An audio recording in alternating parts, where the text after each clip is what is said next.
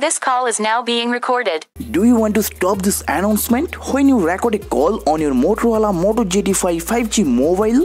Today in this video, I will show you how to record calls on the Motorola Moto G85 5G without that unwanted announcement. So let's get started.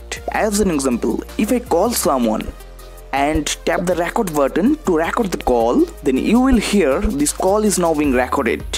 This call is now being recorded. So if you want to stop this recording announcement on your Motorola Moto G85 5G mobile, then first of all open the phone dialer app. Call recording has now ended. Then here you click on three dots at the top right corner. After that, click on settings from here. Then click on call recording option from here. After that, here you turn on this disclaimer option.